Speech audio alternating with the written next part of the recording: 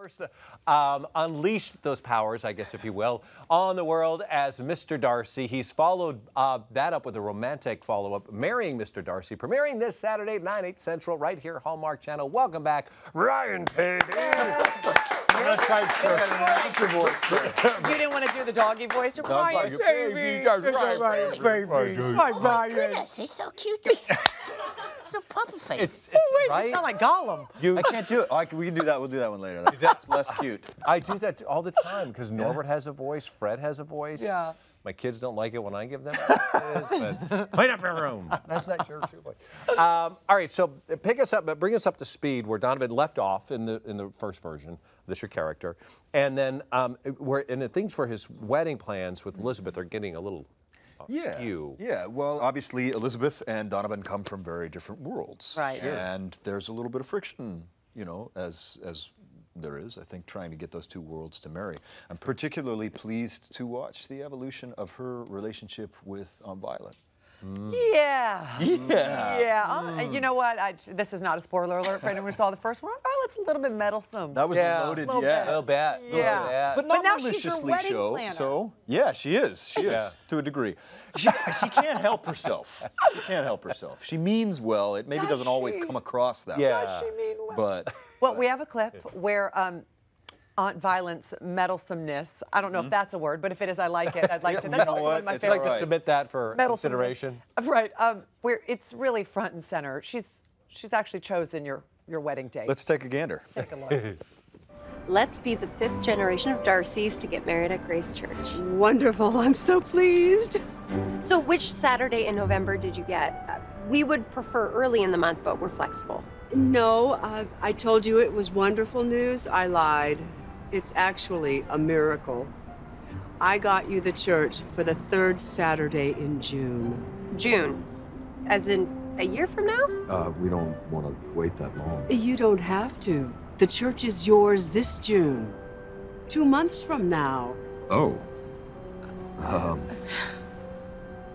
Well, I say we go for it.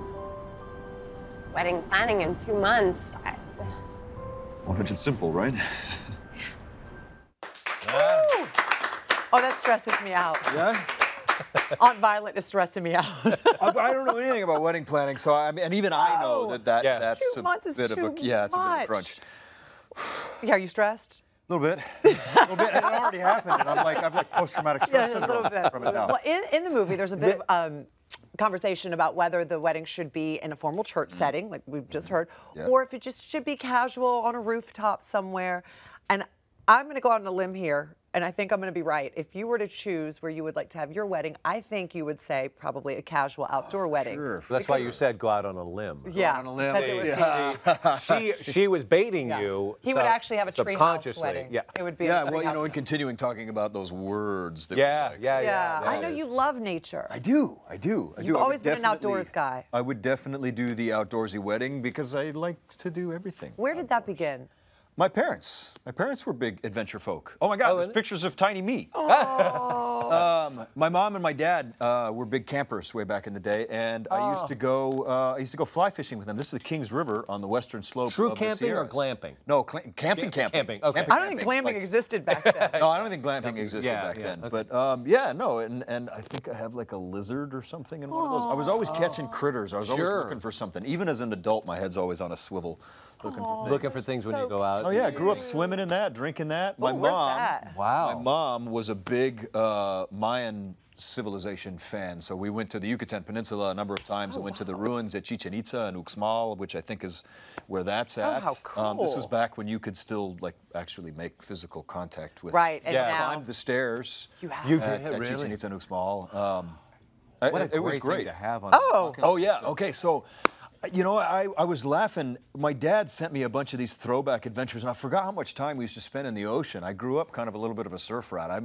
surfed in a long time. Look That's at me. that. That's impressive. Um, back when puka shells were still a thing. Let's bring them back. right? Let's do I, it. I, Let's I do it. love a puka shell. Uh, but yeah, that's Pops and I, and I'm pretty sure that's Indonesia.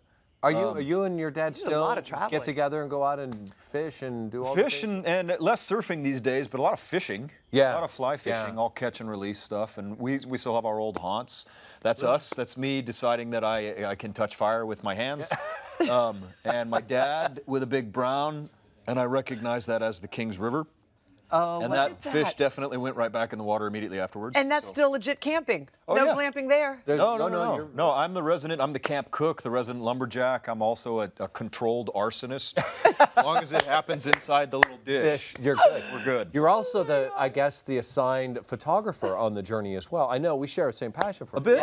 I saw some of your work and I am blown away by just what do you look at? Well, who, who inspires you? Is there a photographer or is it just the process Honestly- of capturing imagery when you're out and about? Nature is my muse. Uh, Yeah. My dad's a big photographer as well, so I, pro- I probably got a little bit of that from him. He was always having us, you know, set the camera up over here and then Sure. stand in front of it really fast. Um, but I just, I, I, I've been fortunate enough that I get to adventure and I get to travel a lot, and you can't help but want to like Right. record little pieces of these adventures and go to some really Yeah. beautiful places. I mean, they're- it's beautiful. I love wow. it. that's my bike. That's, That's the bike. beautiful Well, that's with that the is just- backdrop. Look at that. Okay, so the one on the left is near a place in Utah called Grand Staircase near the Escalante Wilderness. And I took a mm-hmm. huge backpacking and kayaking trip there that was really interesting. And it looks like Mars. I promise I didn't even punch the color very much on this. I took the picture because it was so piercingly bright red. Yeah. It, was, it almost looked weird. And that is Arches National Park on my bike, which I do all, I, I go all over the That's country on that Yeah, I'll tell you, it's oh, you just seeing some of your stuff though. I love how when you're out there, it's hard to not take pictures and be a part Yeah. of it. And it's it's to me, it's art. I like Yeah, I like photos true. because it's a way for me to preserve a piece of that trip without actually modifying the space. I didn't do anything. I didn't leave Yeah. any garbage. I didn't take anything, but I took a picture. Ah. So Picture, that's a good word. It doesn't affect that space. I left it Yeah. the way I found it for you to go and see. Right. Sure. And I will take my picture. I will you take something from there, but not yet remove anything Right, from exactly. the. Exactly. See what I Leave it did? the way the Leave universe only made it. footprints, take only memories. That's There it the- is. Oh, Wonderful. Wow.